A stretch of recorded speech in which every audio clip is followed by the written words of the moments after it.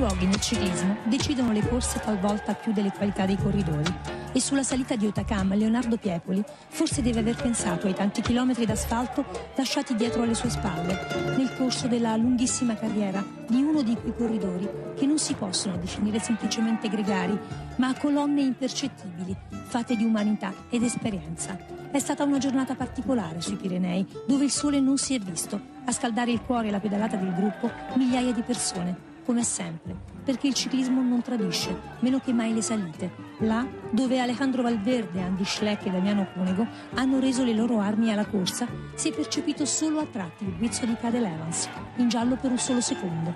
Discorso a parte per Riccardo Riccò. Due tappe e ora altrettante maglie, quella del miglior giovane e i qua rossi riservati agli scalatori. Il suo tour resta aperto. Accanto a sé, un compagno di viaggio che sa vincere, ma sa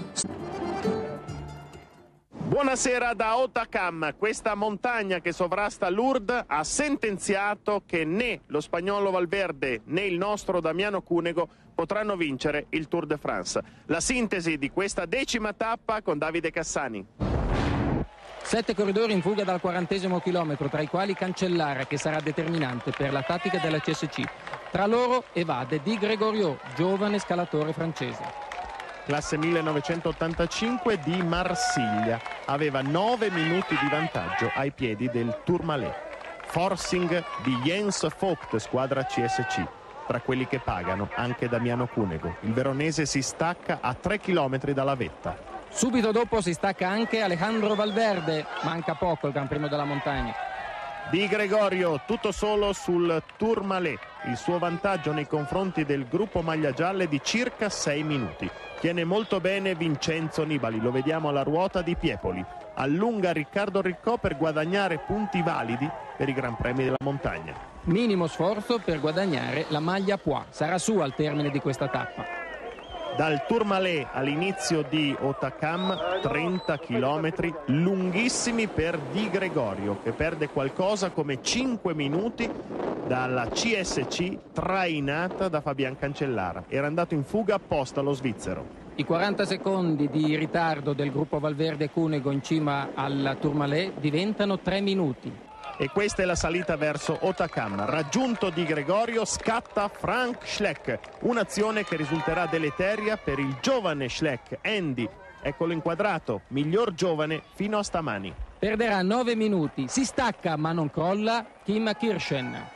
È un forcing da parte della Sonier Duval. Tutti si aspettavano Riccardo Riccò, invece a rompere gli indugi è Cobo, corridore 26enne che viene dalla Cantabria. 37 anni invece li ha Leonardo Piepoli, ma non li dimostra. È lui che si porta all'inseguimento di uno scatenato Frank Schleck. È il secondo attacco per il campione del Lussemburgo.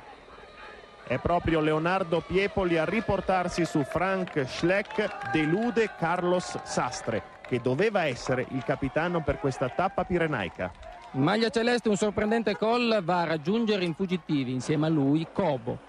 Fa parte di questo quintetto anche Vladimir E. Finkin della G2R. Tiene, non molla Kim Kirschen, così come il nostro Vincenzo Nibali. Resta con Evans, Menchov e Sastre. Per Riccardo Ricò probabilmente la giornata non è come quella di ieri ed è per questo che lancia in fuga i due compagni di squadra.